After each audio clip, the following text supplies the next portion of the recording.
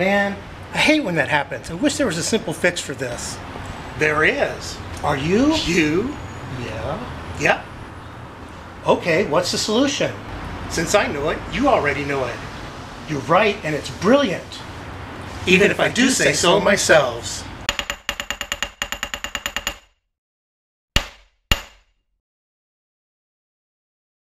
Hey, this is Newbie Dan, and yes, that was cheesy. Sorry. I'm going to show you how to solve the problem of collapsing buckets. First thing we'll do is we'll take the lid off, just because I want to show you this tool. If you've never used one of these before, got to have it.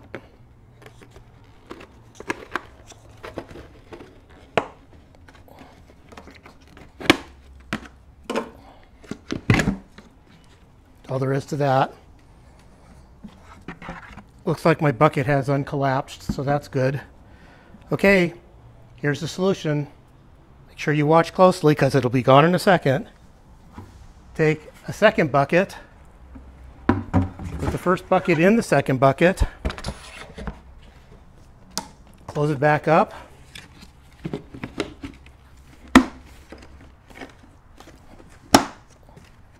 And you're done, believe it or not.